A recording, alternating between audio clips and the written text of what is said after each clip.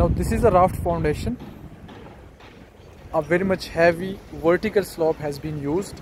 And there are the soil nails and the pile. A combination of soil nailing and pile foundations has been used.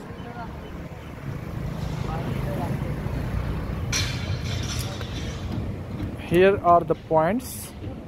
Uh, where for punching shear the extra reinforcement has been used. These are the column points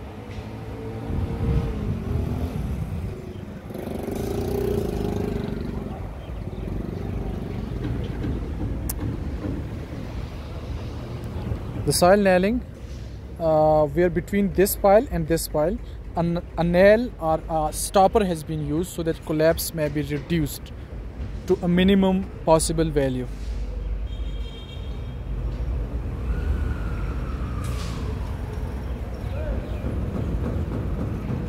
Sorry.